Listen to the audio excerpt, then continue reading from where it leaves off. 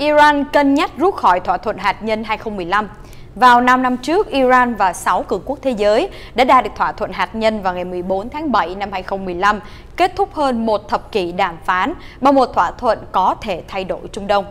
Hàng ngàn người Iran đã xuống đường để ăn mừng thỏa thuận vào năm 2015. Nhưng hiện tại, sau 5 năm, đất nước này phải đối mặt với các lệnh trừng phạt gia tăng – một cuộc khủng hoảng kinh tế và đại dịch coronavirus khiến nhiều người cảm thấy đã đến lúc phải rút khỏi thỏa thuận. Iran đã được dự kiến là sẽ đưa ra lập trường mới nhất về thỏa thuận này vào đầu năm nay, nhưng sau khi Hoa Kỳ giết chết chỉ huy quân đội hàng đầu của Iran, Qasem Soleimani, thì hai bên đã có một sự leo thang lớn về chiến sự. Xin nhắc lại, Tổng thống Hoa Kỳ Donald Trump đã rút khỏi hiệp ước giữa Iran và 6 cường quốc thế giới vào tháng 5 2018 và áp dụng các biện pháp trừng phạt từ nước này nói rằng thỏa thuận này không đủ để ngăn chặn chương trình hỏa tiễn và ảnh hưởng của Tehran.